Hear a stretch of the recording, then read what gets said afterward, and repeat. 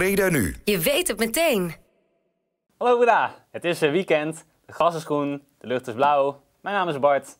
Welkom bij het weekoverzicht.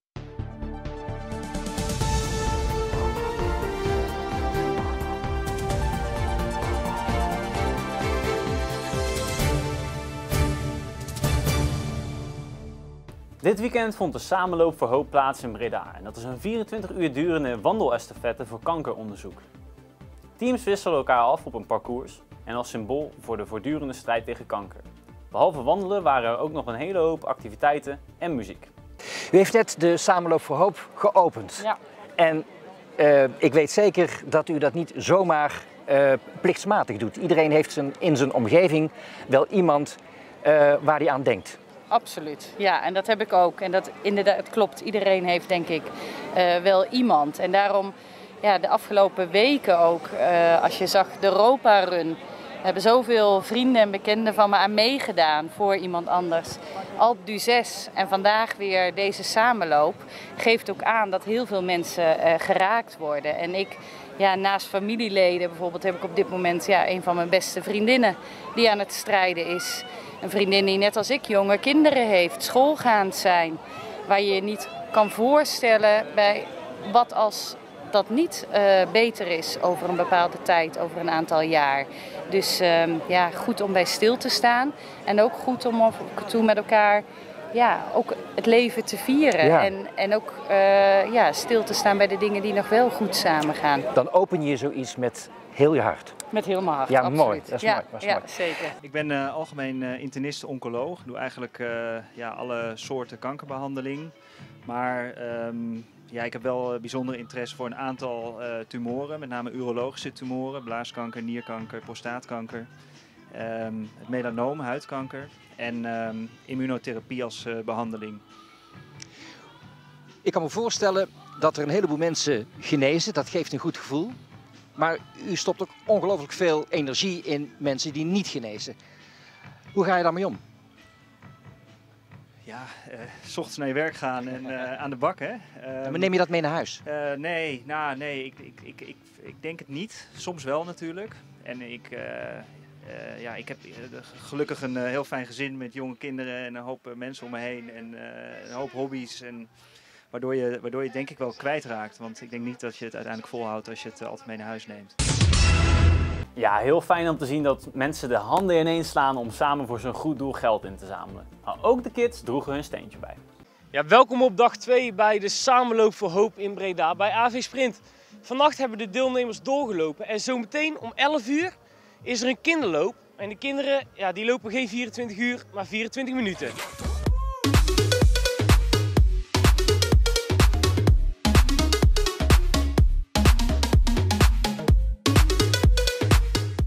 Lang doe je over een rondje?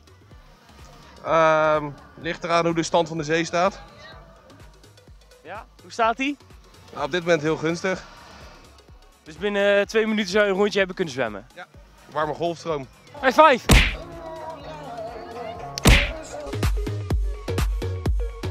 High five, hè?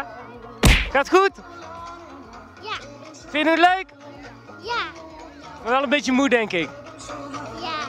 Ah, je hoeft nog maar een klein stukje, hè? ja. Ja, komt goed. Succes, hè? Hoe is het? Goed? Ja? Loopt het een beetje lekker? Ja. Hoeveel, eh, hoeveel rondjes ga je lopen vandaag? Ehm, tien of zo. En jij? Eh, tien. En jij? Twaalf. Ah, dan ben jij de winnaar. Hé hey, maat, ik kom jou heel even storen. hè? Hoe heet je? Milan, En hoe oud ben je? 13 jaar. Hey, dan ben je wel een jonge DJ. eh. Ja, klopt. Ja. Hoe lang sta je al te draaien? Hier? Ja?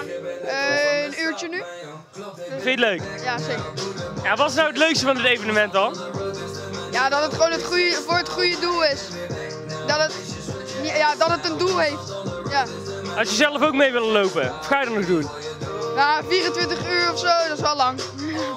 Dat had ik niet volgehouden. Nee, dat snap ik. Ja, dan heb Hey, ik ook heel veel respect voor deze mensen die het wel doen. nou, zullen we even kijken hoe jij dat gaat doen dan?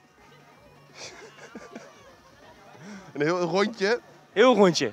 Nou, is er geen EBO aanwezig? Ja, die kunnen we wel regelen. Die gaan we wel regelen als jij het doet. Nou, oké. Oké, nou succes. Dan komen we zo eh, even kijken bij jou. Eh, het leukste is denk ik toch wel dat, eh, ja, dat je allemaal wel iets kunt doen. Ik denk dat voor veel mensen ook moeilijk is als een, iemand in een omgeving kanker heeft of die dicht bij hun staat. En dat je toch best wel machteloos bent, dat je daar niks aan kunt veranderen. En is zoiets wel fijn dat je samen de schouders eronder kunt zetten en eh, ja, voor je gevoel wel iets aan doen bent tegen kanker. De instapdrempel voor evenementen zoals Alpe d'Huez is heel erg hoog. Maar met de benenwagen daartegen lukt ons allemaal nog wel. En vandaag gingen in Breda nog een keer de sportschoenen aan, namelijk voor het avondje nakloop. En dit keer was het goede doel de Grote Kerk. En wat ga je nou nog doen? Eh, ik denk gewoon naar huis. De man is geblesseerd. Hij is geble- ben je geblesseerd? De man is geblesseerd. En hoe komt dat dan? Ik, ik was aan het schimmen en toen op een klimmuur en toen viel ik op een mat en toen, en toen gleed ik van de mat af. Ja, hartstikke goed joh. We zijn Om 7 uur zijn we met de kleintjes begonnen. En nu om half negen, ja, nu eigenlijk net klaar zeg maar. Ik weet niet hoe laat nu is, kwart over negen, misschien half tien, zijn de laatste lopers eh, binnengekomen. Dus wij zijn helemaal tevreden. Waar loopt u voor? Voor de Grote Kerk, eh, ja, eh, veel geld ophalen voor eh, de restauratie van de Grote Kerk. Oké, wat is goed. En hoeveel kilometer heeft u gelopen? Ik ga de 6 kilometer doen. Oké, je bent zelf ook heel sportief? Ja, ik loop eh, ja, heel vaak eh, afstanden. Eh, ik vind het een leuk event. Ik woon hier in Breda. En eh, het is een goed doel. Eh, voor iets eh, in Breda. Echt, eh, je loopt voor eh, de grote kerk. Dus ja, dan vind ik het leuk om even mee te doen. En 6 kilometer is ook te doen. Dus, eh. En eh, gaat u naar de aftersparty vanavond? ja, waarschijnlijk wel. Ja. Oké. Genoeg energie nog? Jawel, jawel. Nou, zet hem op. Dankjewel, komt helemaal goed. Woensdag kwamen ondernemers, gemeentes en scholen bij elkaar in het Chassé Theater. En dit was voor de Brabantdag. Er waren veel dingen te doen, zoals natuurlijk netwerken.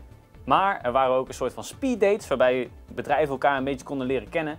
En ze bezochten meerdere locaties. Wij faciliteren in Breda heel graag dit soort eh, eh, eh, events, bijeenkomsten, want het past heel goed bij onze stad. Eh, onze slogan is een beetje Breda brengt het samen. Wij willen mensen samenbrengen, spannende ontmoetingen faciliteren en daar staat deze dag ook bol van.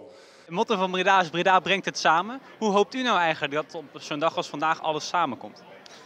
Uiteraard eh, dat je interessante gesprekspartners ontmoet en dat je de connectie kan maken. eh, de connectie tussen overheid, eh, bedrijfsleven, kennispartners, onderwijs. eh, hè, van alle eh, categorieën bedrijven en instellingen die aanwezig zijn. Nou, wat ik eh, zie is dat er heel veel interactie is tussen verschillende partijen. En wat heel leuk is, dat je ook eh, elkaar kan ontmoeten, eigenlijk een soort van dating. En eh, daar kom je ook echt in gesprek met elkaar aan tafel. En daar word je eigenlijk toch een, min of meer een beetje geforceerd om ook echt met elkaar in gesprek te gaan. Hoe belangrijk is een dag zoals deze nou eigenlijk voor het ondernemerschap in Brabant? Nou, ik denk heel erg van belang, want anders dan blijft iedereen toch heel erg op zijn plek zitten. Of heel erg met zijn dingetje bezig. En hier worden echt verbindingen geslagen, dus ik denk dat het heel belangrijk is. Ja. Ongeveer 5000 mensen in Breda hebben een uitkering. Maar wat vinden we nou eigenlijk van dat we van die mensen een tegenprestatie verwachten? Wij gingen de straat op om te vragen wat Breda daar nou eigenlijk van vinden. Wat vindt u van een tegenprestatie voor bijstandsgerechtigen? Sorry? een tegenprestatie voor bijstandsgerechtigen. Een andere vraag verwacht eerlijk Ja, gezegd op de kermis. Ehm, nou, ik denk dat ze al een eh, prestatie moeten leveren. Maar ik moet eerlijk zeggen, ik heb er niet eh, direct over nagedacht. Eh, ik heb het nieuws niet zo gevolgd, moet ik zeggen. Wat vindt u bijvoorbeeld van mensen die dan vrijwilligerswerk moeten doen? Nou, dat lijkt me prima. Ik denk, eh, ik denk dat eh, als er mogelijkheden zijn eh, en ze nemen die eh, en ze doen wat, eh, ja, perfect. Eh, ja, prima. Eh, vind ik wel goed denk ik. Ja. Doen ze ook nog een beetje iets terug voor de uitkering die ze krijgen of zo?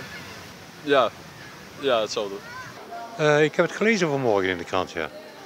Nou, ik vind het ergens wel een goed idee. Want dan doen ze er ergens iets voor, hè. En doet u zelf ook iets van vrijwilligerswerk? Die leeftijd heb ik gehad. Nee, dat doe ik niet meer. Ja, in jouw vraag zeg je al dat ze een tegenprestatie moeten doen. Daar ben ik het gedeeltelijk mee eens. Nou, als je in staat bent om iets te doen, dat je het dan wel kan doen. Maar als je beperkingen hebt of dat je voor kinderen moet zorgen. Er zijn altijd redenen waarom je goed moet kijken of mensen het echt wel kunnen. Ja, ben ik wel voor. Sowieso. Eh, vooral voor studenten ook. Dat is momenteel gaande, sowieso. dat eh, studenten en mensen die jonger zijn verplichte sociale verplichten moeten gaan doen. Ja, nee? Daar ben ik wel voorstander van, ja. Oké, en wat vindt u ervan? Ik niet. Omdat eh, mensen die in de bijstand zitten, het niet altijd hun eigen keuze is. Dus ik vind dat je niet kan eh, verplichten. Ik vind dat je in gesprek moet gaan en dan kijkt eh, ja, of er iets is wat ze kunnen gaan doen. Maar wat ze zelf ook vooral zien zitten.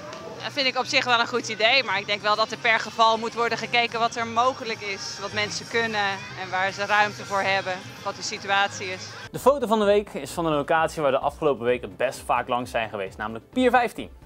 En achterin zie je ook nog een klein stukje van Belkrum Beach, dat herken je misschien ook wel. Deze foto is gemaakt door stadsfotograaf Jurgen Jansen. Heb je zelf nou ook een mooie foto gemaakt? Stuur hem dan gerust op naar redactie apenstaartje. Ja, lieve kijkers, dat was het alweer voor deze week. Volgende week zijn we natuurlijk weer met de laatste nieuwtjes en highlights van in en rondom Breda. Dat was altijd een fijn weekend en doe.